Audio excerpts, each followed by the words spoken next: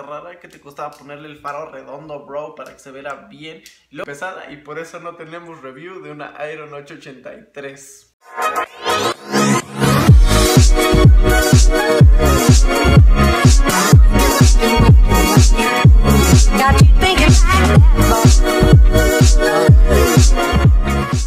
Hey, ¿qué onda gente? ¿Cómo están? Espero que estén bastante bien. Yo soy Andy Castillo y sean bienvenidos a un nuevo video.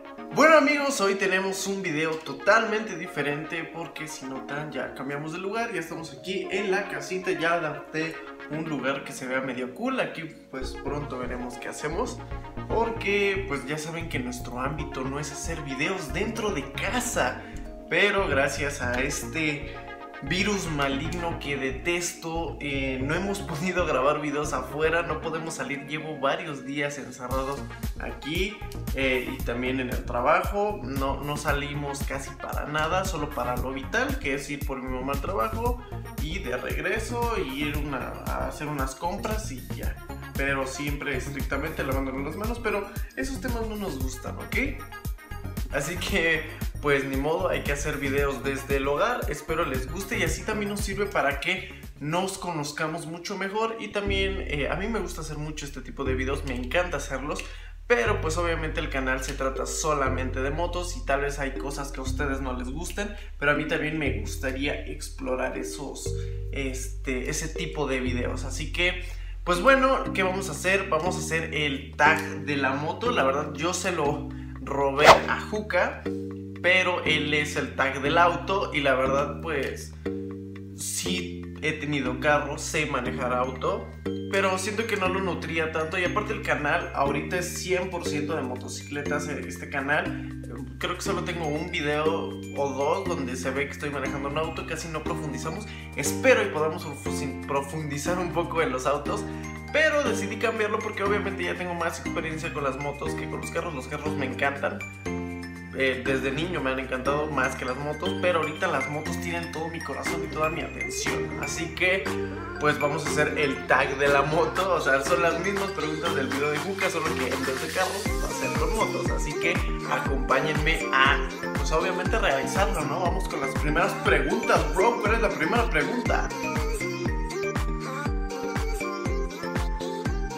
Ok, viene la primera pregunta y aquí es una de las importantes. ¿Cuál fue tu primera moto? Bueno amigos, si ustedes ya son algo viejos en este canal o bueno, pueden ir hasta los videos, los primeritos videos esos que me dan un poquito de pena porque pues, obviamente la edición no era tan buena, pero eh, tenemos videos con una XT110 de la marca Itálica en color gris este, la verdad con esa moto, wow, aprendí muchas cosas y esa fue mi primera motocicleta, una XT110 semi automática que también la puedes conocer como AT110, Argenta 110, eh, Vento, Spectra 110 es la misma moto, solo que se comparte entre marcas, pero la mía era una XT110 en color grafito. Primera moto que manejaste. Bueno, si nos remontamos a la primera motocicleta, obviamente de dos ruedas, eh, pues obviamente sería la XT110, pero si nos remontamos un poquito más atrás y validamos que se pueda meter cuatrimotos, entonces mi, eh, pues aprendí a manejar en una cuatrimoto que tenía uno de mis mejores amigos de aquí de la infancia. Eh, nosotros vivimos en un tipo fraccionamiento cerrada, entonces él tenía una, bueno, ¿cómo se dice? Una cuatrimoto, perdón, una cuatrimoto como aproximadamente, que será 50 centímetros cúbicos, era dos tiempos y ahí es donde nos turnábamos y empezábamos a darnos nuestros roles. Ahí como que aprendí a agarrarle el gusto a las, pues al manillar y sí me, me divertí bastante, creo que eso fue lo primero. Y si hablamos ya de una moto de dos ruedas, así como manejarla como tal, no porque mi hermano me ponía en el, pues, en el tanque de su moto y según que yo la manejaba, pero él hacía los cambios y todo eso. En, una, en su avanzada 125, así como que pues no. Pero si hablamos de la primera, primera que manejé en toda mi vida, una cuatrimoto, ah, creo que era Carabela, la verdad no, me, no sabía qué marca, como a los 8 años más o menos aprendí en esa motito, en esa cuatrimoto. Así que pues vamos con la siguiente pregunta. ¿En qué moto aprendiste a manejar y a qué edad?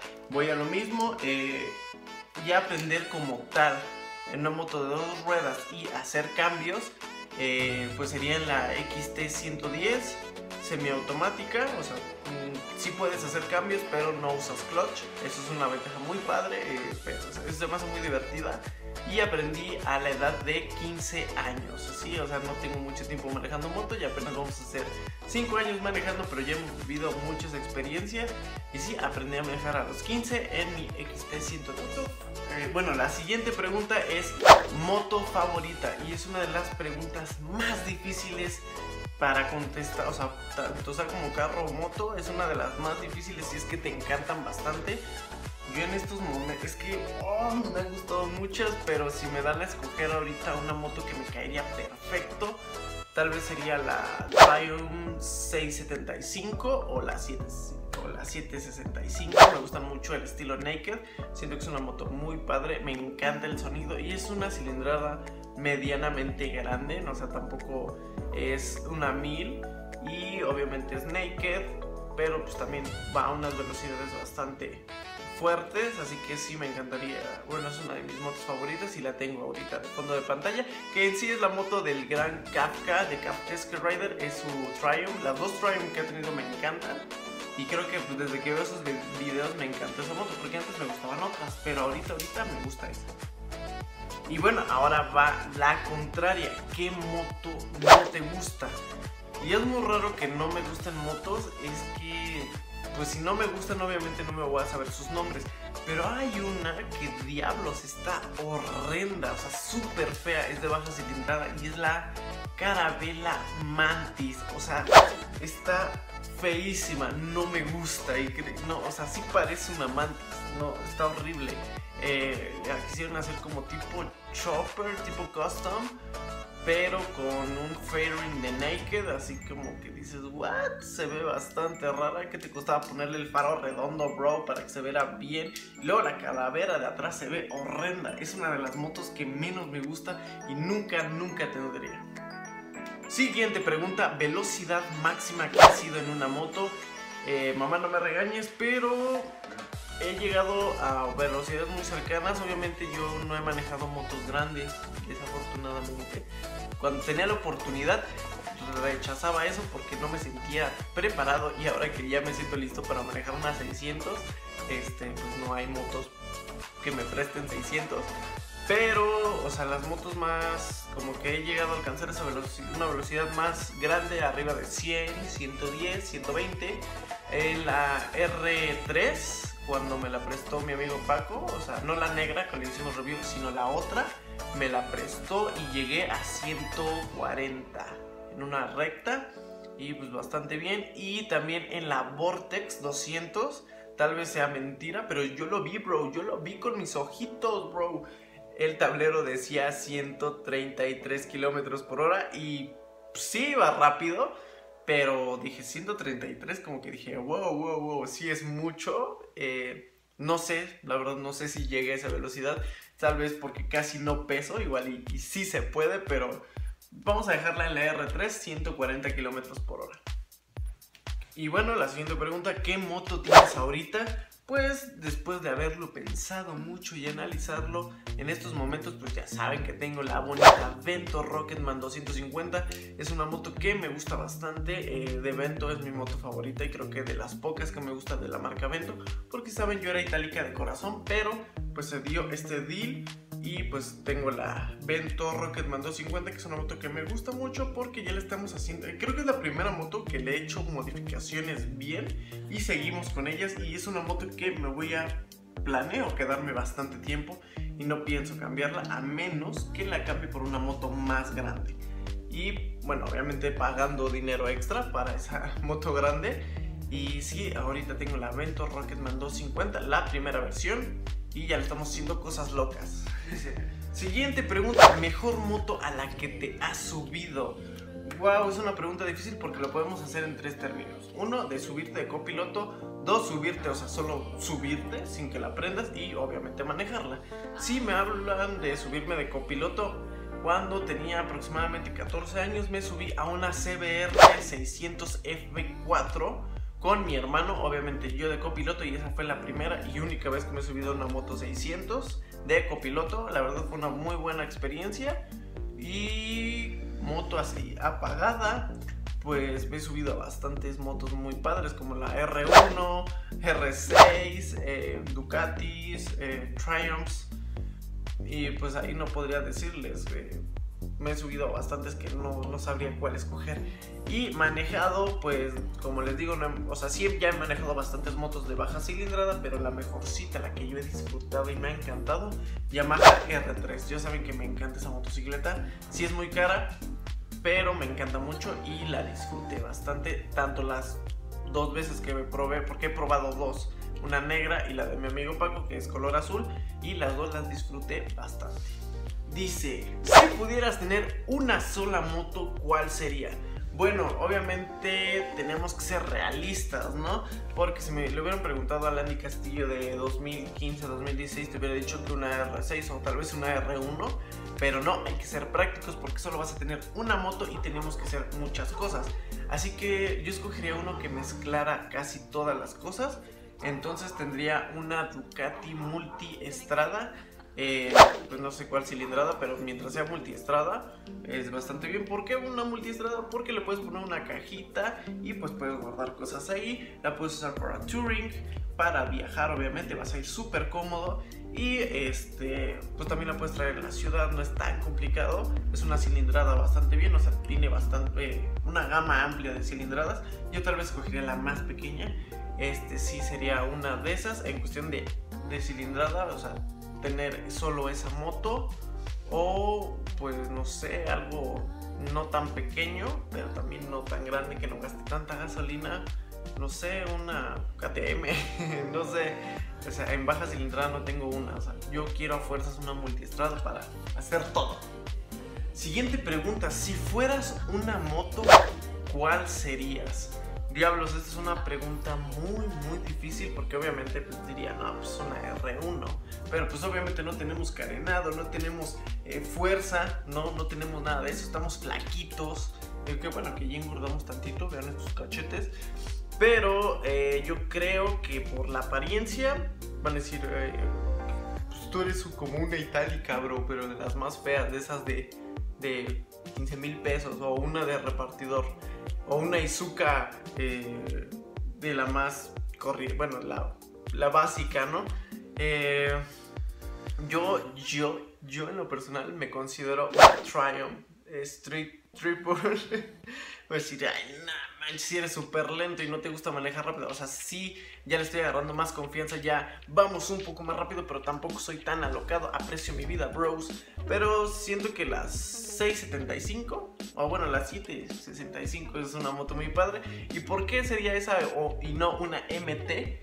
07 eh, o bueno FZ07 o una 09 porque por los faros. Obviamente yo uso lentes serían mis faritos y pues estoy medio ciego no y aparte como que la Triumph tiene esos dos faros así parece como si fueran unos ojos o unos anteojos y pues obviamente me encanta esa moto y me gustaría hacer esa moto y no es tan agresiva no es tan grande o sea una deportiva en, su, en una pista igual y la, la puede dejar un poquito más pero pues me gusta esa moto, me gusta el estilo y siento que sería yo esa moto.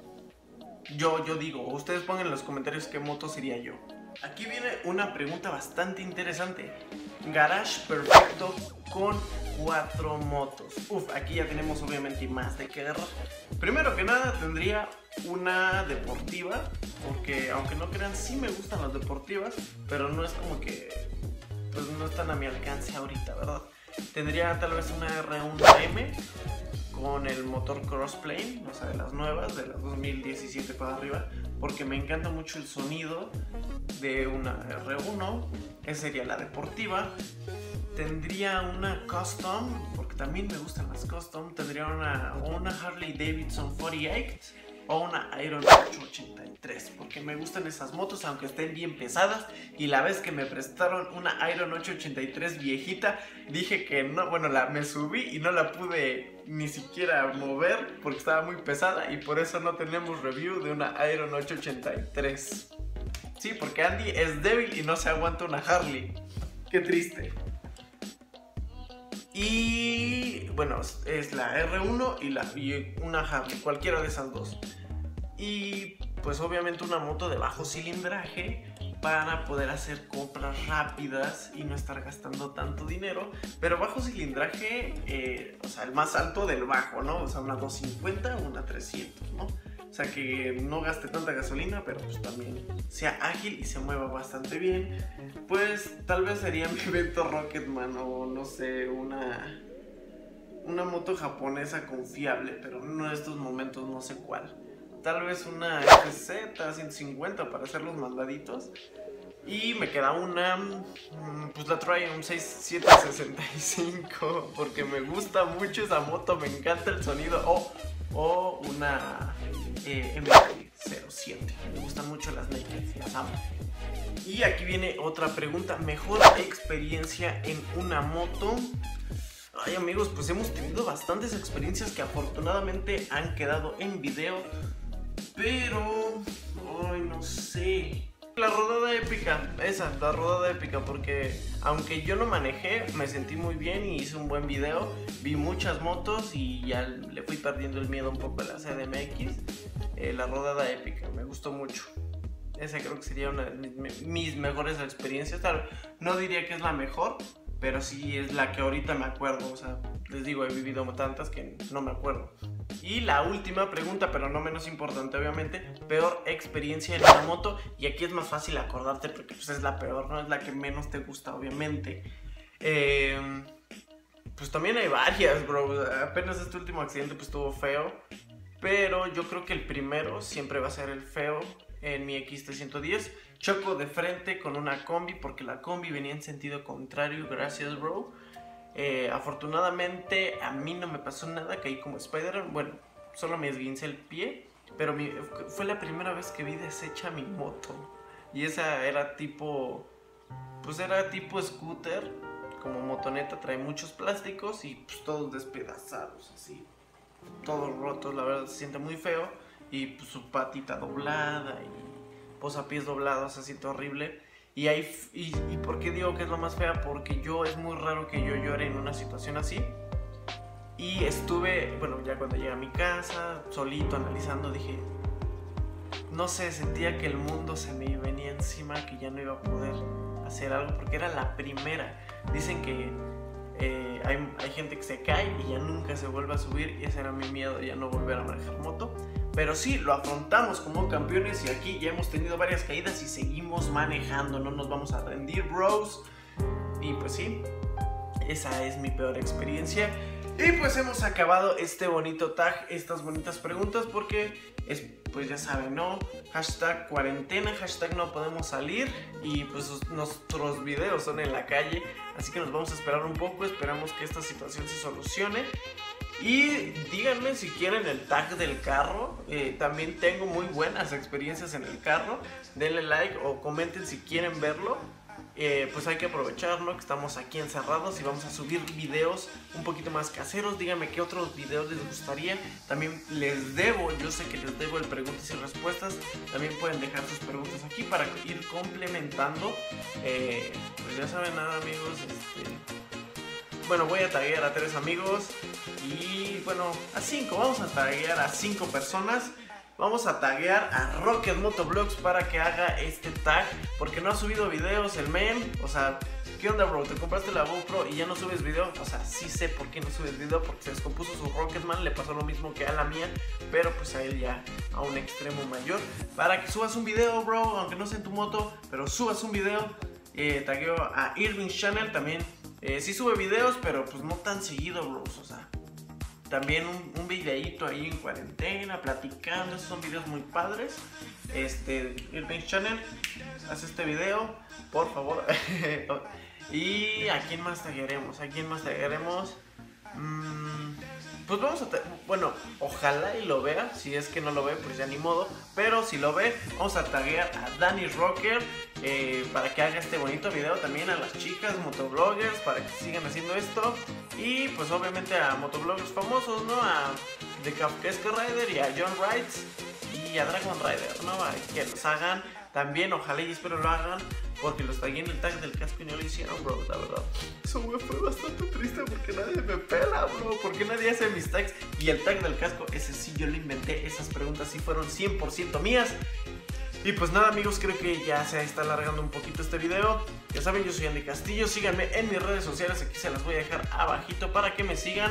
Andy Castillo en Instagram, ayúdenme a llegar a los 300 eh, seguidores, solo me falta uno, pero pues queremos llegar aquí. ¿Cómo es posible que aquí ya vamos a llegar a casi 4000 y pues en Instagram apenas tenemos 300, ¿no? Por favor ayúdenme a llegar y pues cuando se pase todo esto vamos a hacer un giveaway y también síganme en la página de Facebook que es Andy Castillo 7 para que estemos un poquito más en contacto.